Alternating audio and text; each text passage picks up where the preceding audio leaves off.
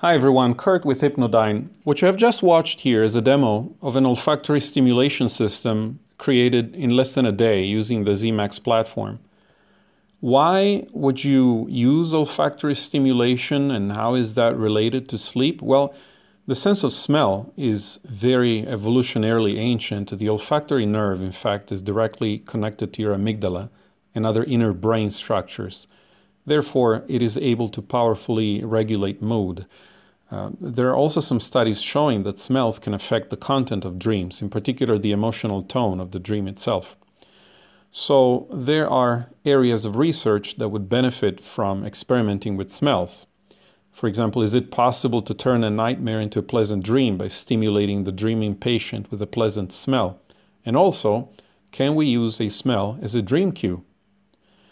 As you know, in lucid dreaming, we train ourselves throughout the day to do a dream check in response to some external stimulus, such as a light. If you're not familiar with lucid dreaming and dream checks, I recommend you read up on that before proceeding.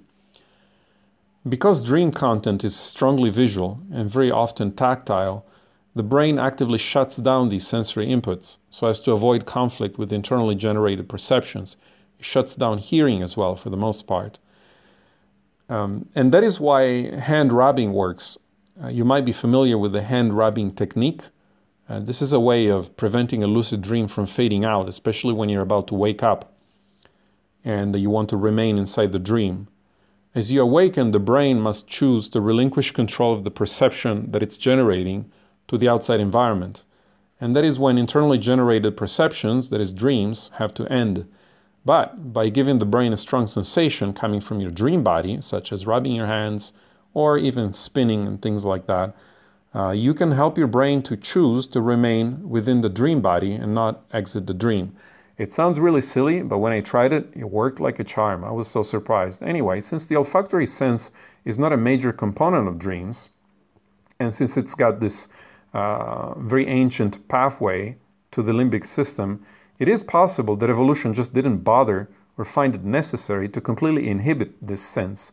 And if so, it might be possible to achieve far higher dream incorporation, far higher effectiveness in dream cueing by using an olfactory stimulus instead of a visual or tactile one.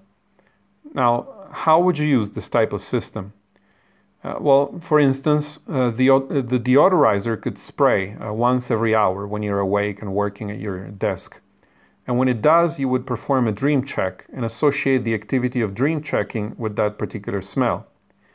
During sleep, the smell would be triggered by REM sleep, and you would perceive it hopefully within the dream.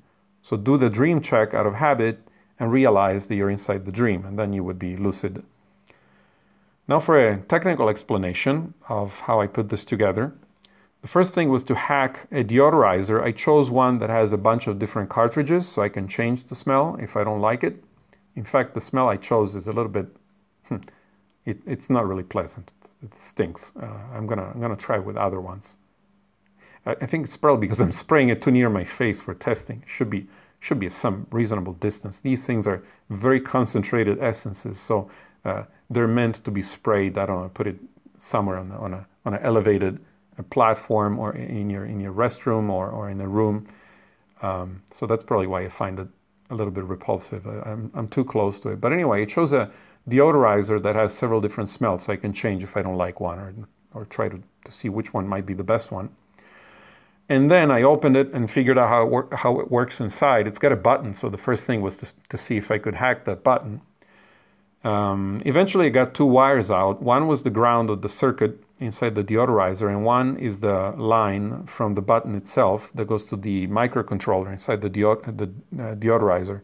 And when you open it, you're not going to see a microcontroller. There's a little blotch of black. That's because, well, that's called a chip on board, uh, just for cost reasons. Uh, they put the naked microcontroller without the epoxy package and cover it. But yeah, so those black uh, circles, those black drops that you see inside they're microcontrollers or anyway integrated circuits.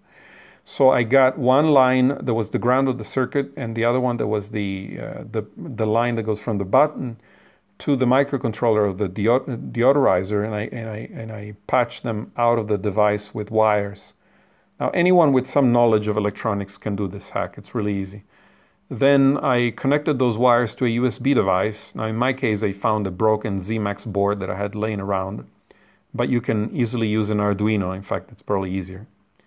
Uh, but in my case, I removed all of the ZMAX code from the board and just got it to accept one command through the USB port. That one single command activates the switch by grounding the line, uh, just like uh, happens when you push the button on the de deodorizer. Then to send the USB command uh, to my circuit, I used HID Sharp, which is a library for C Sharp. So the program is really, really easy. You just have to put in the vendor ID and product ID. You can make these up if you're not going to release it. And it's uh, that that tells the software to to connect with your specific. And if, if you're using an Arduino, it's got a serial port. So in that case, you don't need HID Sharp. You just uh, open the serial port from C Sharp Okay, uh, and then I made an executable file out of that so that whenever I call this uh, file, the thing just sprays, okay? Then uh, on the ZMAX side, I extended the application HD Recorder, which I remind you is the application that's acquiring your sleep, monitoring it, and it's got the scripting language. And I added a new function that allows it to call an executable file. Uh, with this, everything was ready to just go into the JavaScript code and add that command to, to launch my executable file to trigger the smell uh, whenever I want it. So for testing purposes, I'm calling this uh, spray.exe when I push a button on the ZMAX uh, transmitter. But of course, in a real setting, you wouldn't use the button. Uh, you would connect that function to the code that's called every 30 seconds and check uh, so that you spray only if the flag uh, pertaining to REM sleep is set. When you're sleeping, an HD recorder is looking at the data coming in. It will continuously call JavaScript. And if you're in REM sleep, it's going to pass a parameter, which I called isREM. So you would uh, simply check the parameter, and if it's true, uh, then you could uh, trigger the spray, and perhaps you want a delay as well, as the, the smell is quite strong. And, uh, and that's it. Now we're planning to conduct a study with ZMAX and olfactory stimuli both their incorporation within dreams and whether they can be used to uh, treat nightmares. And, but that's depending on whether we get a grant or not. So if you wish to cooperate, uh, feel free to get in touch with us. And of course, ZMAX is available for sale on hypnodynecorp.com. Thank you very much for watching.